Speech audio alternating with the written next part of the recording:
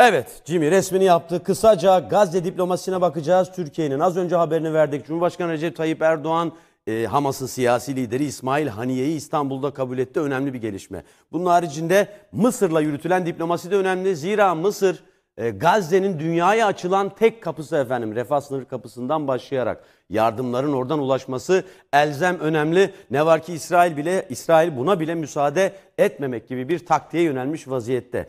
Tabii Türkiye'nin önceliği işgalin son bulması İsrail işgalinin. Ardından Dışişleri Bakanı Hakan Fidan'ın sıklıkla andığı üzere iki devletli çözüme yönelilmesi gibi bir e, Türkiye'nin tavrı var. Umarız bu tavır karşılık bulur ama öncelikle dediğim gibi İsrail işgalinin sonlandırılması ve Gazze katliamlarının bitirilmesi önemli. Şimdi bundan binlerce yıl önce, takribi 5000 yıl önce Exodus denilen e, Mısır'dan çıkış hikayesi vardır Yahudilerin. Şimdi sanki geriye dönüş gibi yani Gazze'lileri böyle Mısır'a tersine bir egzodusa tabi tutmak ister gibi bir halleri var. Çünkü açıkçası kundaktaki bebekleri katletmekle kalmadılar.